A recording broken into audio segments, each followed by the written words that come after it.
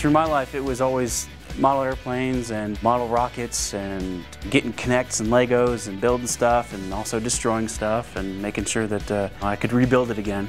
What I did as a child is pretty much what I do every day. I rip stuff apart, I put it back together. But here, I have to make sure I put it back together the correct way.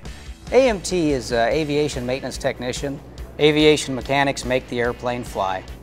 Spartan has a global reputation, providing aviation maintenance training for the United States Air Force and companies that perform maintenance for major airlines. 50% of what we do here is theory, but you know, the, the part the students really enjoy is the 50% shop. We talk about hydraulics, pneumatics, electricity, uh, sheet metal, uh, composites. I mean, there's just so much that goes into making these airplanes fly. In the Marines, I was originally slated to do aircraft maintenance. I've been fascinated with aviation things, flying. I used the GI Bill for the AMT program. Spartan offers multiple aviation maintenance training programs. Both diploma and degrees are offered either entirely on the ground of the campus or through our groundbreaking new hybrid program. In fact, it's the first ever partially online maintenance program that the FAA has approved. There are now two ways to obtain Spartan's effective methods of aviation maintenance training. You can do it faster if you go full time, all on campus. 15 months for the diploma program and 18 months for the associate's degree.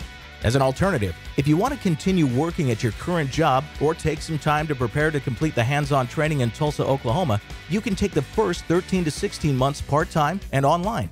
Then go to Tulsa for the hands on training for only 7 months. All program variations prepare you for the airframe and power plant certification required by the FAA. Due to the high level of precision acquired in training, AMT technicians are sought after in a wide range of industries, including energy, marine, automotive, and more. But not surprisingly, the majority of aviation mechanics work in the aerospace industry. Boeing predicts the need for over 600,000 new technicians before 2035. So what's in your future?